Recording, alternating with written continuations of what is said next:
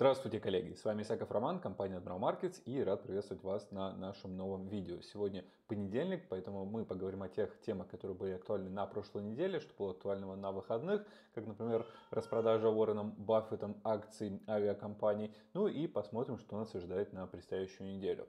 Итак, начнем наш выпуск с Уоррена Баффета. В минувшую пятницу рынок э, закрылся снижением, и мы э, также видим это снижение по фьючерсам на открытии рынка в понедельник. Э, относительно Баффета. А Баффет вышел из компании авиаотрасли. Об этом он сообщил в субботу в ходе диалога с акционерами компании Berkshire Hathaway. Баффет продал все акции большой четверки авиакомпаний США. Это а, American Airlines, Delta Airlines, Southwest Airlines и United Airlines. Баффет возобновил инвестиции в авиасектор еще в 2016 году. К сожалению, авиаотрасль пострадала очень сильно из-за последствий коронавируса.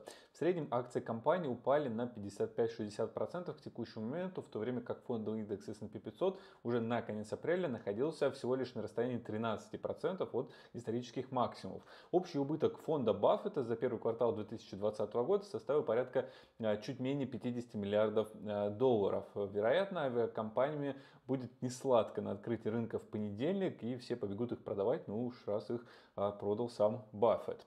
А еще один ньюсмейкер, ну и человек, который, за твиттером которого следят, наверное, точно так же, как за твиттером Трампа, это Илон Маск. Снова произошла, ну, можно сказать, манипуляция рынком. 1 мая Илон Маск написал в своем твиттере, что считает акции Тесла слишком дорогими. И, конечно же, акции подешевели на 11% буквально за пару часов. Может, кто-то действительно хотел купить что-то дешевле, ну, Маску уже давали штраф за манипуляцию рынком. А, из остальных новостей а, США продолжает э, обвинять Китай в появлении коронавируса. А, госсекретарь США Майкл Помпео заявил, что есть вполне весомые доказательства лабораторного происхождения коронавируса. По его словам, он возник в китайской лаборатории в Ухане, а не на местном рынке. Каких-либо доказательств, конечно, Помпео не представил, выступая на американском канале ABC. Он обвинил Китай, китайские власти в э, сопротивлении любого рода расследований и а, нежелание сотрудничества с международными экспертами. Ну, посмотрим, чем, опять же, все-таки это дальше выльется. Ну, а в свою очередь, э, распространение коронавируса в ряде стран, в которых а, было достаточно большое э, количество зараженных, идет на спад. А, количество умерших за сутки от коронавируса э, уменьшается во Франции, Италии, Испании. Оно было наименьшим за последние недели. Власти этих стран уже готовятся ослабить уровень карантина. Франция сообщила о 135 смертях, в Испании умерло 164 человека, и этот показатель наименьший в середине марта, а в Италии скончалось 174 зараженных. Это самая низкая цифра за последние два месяца. В свою очередь в России продолжается прирост новых случаев заражения, и накануне сообщалось о 10 э, тысячах, э, более 10 тысяч случаев заболеваний за одни сутки, э, что бьет новые рекорды. Ну а смертность остается на невысоком уровне, и за прошлые сутки было порядка 58 а, случаев. Ну а мы видим, что общее количество заражений приближается порядка к 3,5 миллионам. Ну, будем дальше следить, как а, ситуация будет распространяться. Ну, а так как у нас э, сегодня понедельник, поэтому давайте посмотрим, какие нас события ожидают на а, предстоящей неделе. И важно напомнить то, что э, майские праздники также продолжаются в ряде стран. А, сегодня не работает э, Япония, не работает Китай. И ну, фактически понедельник пройдет, наверное, более-менее спокойно. Ну, не только, только, наверное, авиакомпании будут переживать на открытие после а, заявлений Баффета. Дальше во вторник нас ожидает публикация данных менеджеров по закупкам в непроизводственном секторе. А в среду будет опубликованы данные по запасам сырой нефти. Ожидается снижение данного показателя. А, и э, четверг э, будет решение Банка Англии по процентной ставке. А, в свою очередь, также выступление представителя Банка Англии. Ну и э, фактически пятница будет максимально э, в этом плане ожидаемым. Будут опубликованы данные по количеству вновь созданных рабочих мест вне сельского хозяйства. Ожидается э, ну, прогнозное значение 139 тысяч. Напомню, что предыдущий вышел минус 700 тысяч и вполне вероятно, что апрель также может побить а, рекорды. Ну, начинается новый месяц, а, фактически ОПЕК начал также запускать, а, запустил с 1 мая темпы по снижению, которые были достигнуты в рамках договоренности ОПЕК+. Ну, посмотрим, как это отразится на рынках. А теперь давайте посмотрим, что у нас происходит на текущий момент по текущей ситуации и разберем интересные моменты. Я также расскажу о том, что планирую совершать в ближайшее время и какие сделки у меня открыты. По евро-доллару, ну вот евро, пара евро-доллар пятницу закрыла ростом но сегодня фактически уже а, с открытием евро корректируется. Мы смогли э, торговаться сегодня ниже минимумов, которые были сформированы в пятницу. Здесь я предполагаю а, переход в фазу нисходящего движения по данному активу, поэтому здесь а, я готовлюсь уже к продажам. То есть фактически здесь уже те покупки, которые имело смысл держать, начиная с 27 апреля, возможно, время пришло к новому снижению по, по евро, поэтому здесь к этому я приготовлюсь. И здесь вот сейчас, как вы уже видите, стоит у меня отложенный ордер на а, продажу, на коррекции на 1.0987. С этих уровней мне было бы интересно присоединиться к продажам. Возможно, присоединюсь и по более низким ценам. А по паре британский фунт, американский доллар также мы переходим в фазу нисходящего движения с точки зрения часового таймфрейма. Пятница у нас закрылась снижением, то есть мы не смогли обновить локальный максимум четверга, но не успели перейти в фазу как раз нисходящего движения. Сегодня открылись а, ниже пятницы, ну и фактически уже всю торговую сессию сегодня, в понедельник, торгуемся ниже а, минимум, которые были в пятницу зафиксированы, что нам также дает уже а, сигнал на начало а, продаж по данному инструменту. Опять же вопрос, где присоединиться. Я лично для себя выбрал область а, 1.2580, там у меня стоит отложенный ордер, если будет коррекция а, и мы не уйдем выше, соответственно, максимум, которые были сформированы в пятницу, то по этой цене было бы интересно присоединиться вот в текущий момент, в текущей ситуации. Э, соответственно, пока к покупкам а, отношусь осторожно, поэтому пока здесь, на мой взгляд, началось нисходящее движение, и, ну, по крайней мере, сегодня оно будет здесь приоритете.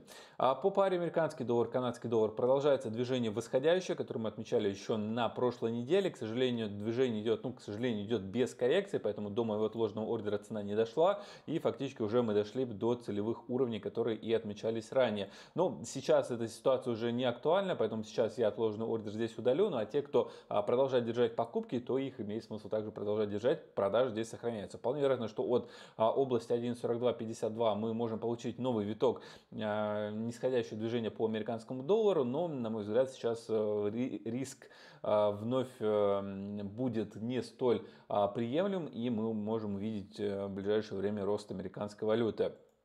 А по паре американский доллар, японская иена, здесь сохраняется движение а, восходящее. Сделку я открывал еще на прошлой неделе, как раз э, в пятницу. И сейчас мы торгуемся а, вблизи ну, последних цен, которые мы видели как раз в пятницу. Цена входа у меня была на 106.81. А цели движения здесь, ну, я поставил их э, достаточно высоко, но, опять же, здесь буду смотреть, уже корректировать по уходу дальнейшего движения. То есть, фактически сейчас цена даже лучше, чем я входил в пятницу. Но пока общее движение здесь сохраняется восходящее. Первый триггер на отмену восходящего движения это уход ниже минимума в пятницы, ну и, соответственно, тот уровень, где у меня стоит стоп-лосс, это минимальное значение 29 числа. Соответственно, здесь я для себя ожидаю возобновления роста, то есть э, понятно, что это для меня идеальный сценарий, который здесь я э, для себя рассматриваю, но, безусловно, понимаю, что цена может пойти и э, в противоположном направлении. Поэтому здесь у меня э, моя сделка защищена, здесь только остается смотреть и контролировать. Поэтому здесь пока я за рост американской валюты.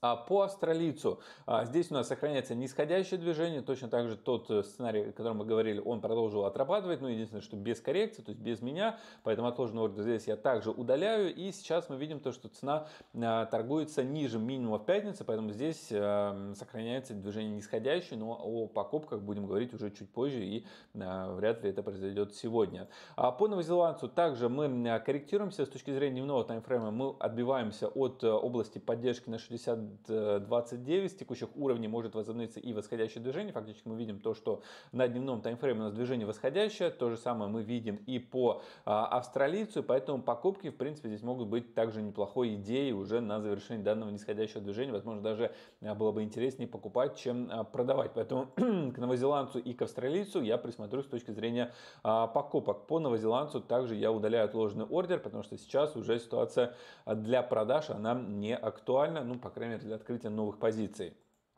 А золото в пятницу закрылось выше открытия. А локальный минимум был 1670, доходили до максимума 1705. Сейчас общее настроение а, по золоту пока сохраняется нисходящее. Если мы увидим перехай максимум в пятницу, то есть уход выше отметки 1710, то вполне вероятно с этих уровней рост по золоту может и возобновиться. А пока ищем новые области поддержки и возможность как раз купить золото по более низкой цене, потому что сейчас пока движение нисходящее сохраняется. Индекс открылись э, с гэпом, в том числе индекс DAX, сейчас торгуется ниже минимума в пятнице, что фактически нас переводит в фазу также нисходящего движения по а, данному инструменту. Но опять же тут вопрос, э, стоит ли присоединяться к продажам по э, данному активу. Ну вот мы уже не раз ставили сделку по DAX 30, сейчас давайте мы поставим ее еще раз, а, присоединение на продажу по данному инструменту. 11 368, пока еще ни одна, к сожалению, сделка по DAX не сработала. Слишком большая волатильность и очень часто я я а, перестраховываюсь от э, ненужных, э, собственно, потерь, которые здесь могут быть. Но вот сейчас продолжаю искать э, оптимальный заход. Вот опять же, здесь риск достаточно большой и а для того, чтобы мне оставаться в рисках, фактически здесь область входа, она ну, практически минимальная. То есть вот, если сюда цена вернется, то вот по этим ценам можно будет войти. А пока мы туда дойдем, уже многое может поменяться. Поэтому здесь а, в данном отношении индекс S&P 500 с точки зрения входа для меня выглядит чуть более интересно.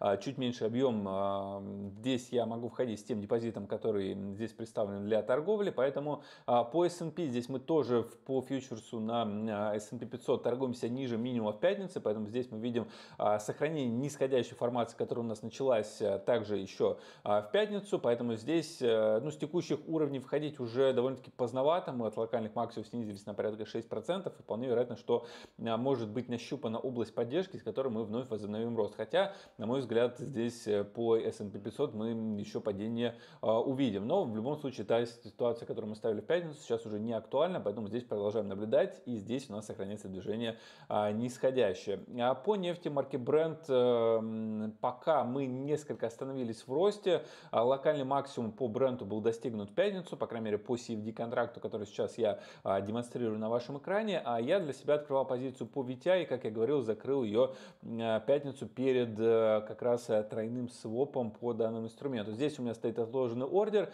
на еще один заход на тот случай как раз возобновления роста по чуть лучшей цене, то есть небольшую прибыль я для себя здесь закрыл, но, безусловно, она только частично покрыла, а, ну, большая часть была как раз на свопах, поэтому аккуратно, нужно торговать нефть, потому что сейчас а, издержки по ней, они довольно-таки большие. Но вот здесь я перезаш пере, а, ну, перепоставил, скажем так, новый отложенный ордер и буду ждать, если цена снизится в данную область, то здесь, в принципе, будет довольно-таки неплохо а, присоединиться. И стоп у меня стоит за минимум как раз 30 э, числа, где я входил а, в прошлый прошлый четверг. Поэтому здесь продолжаем наблюдать. А, и по фьючерсу также на VTI. Сейчас мы видим торговлю вблизи минимальных значений пятницы. Пока мы не ушли ниже минимальных значений, то здесь пока общее движение восходящее у нас сохраняется. Продолжим также за этим а, наблюдать.